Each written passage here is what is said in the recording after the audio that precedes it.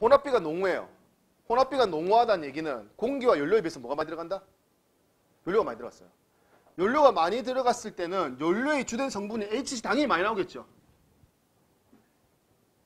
자, 연료가 많이 들어갔으니까 산소도 어떻게 돼? 산소도 작겠죠. 산소가 작은 상태에서는 어떻게 연소됐을 때 이산화탄소보다 일산화탄소 나올 확률이 훨씬 많다는 얘기입니다. 그러다가 점점 어떻게 된다? 산소가 많이 공급되면 공급될수록 어떻게 해? 일산화탄소 작아지겠지. 왜? 산소가 많은 상태에서 연소가 일어나면은 일산화탄소에 산소가 충분히 붙으니까 전부 다 뭐 되는데 이산화탄소로 바뀔 거 아닙니까? 그러니까 일산화탄소 작게 나오겠지. 그리고 연료 입 성분도 점점 작아지기 때문에 HC도 계속 낮아지다가 어 끝에 이렇게 올라가요. 끝에. 끝에 올라가는 이유는 이거 그죠?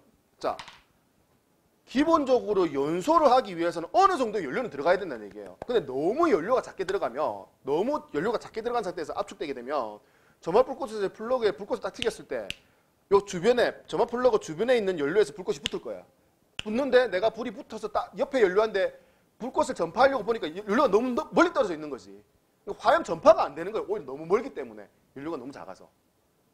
그러면 안 그래도 연료가 작게 쏘았는데 어떻게 작은 연료가 타지 않고 그냥 나온다는 얘기지. 실화라고 합니다. 그럼 배출가스 중에 HC가 어떻게 된다? 더 오히려 많아진다는 얘기예요.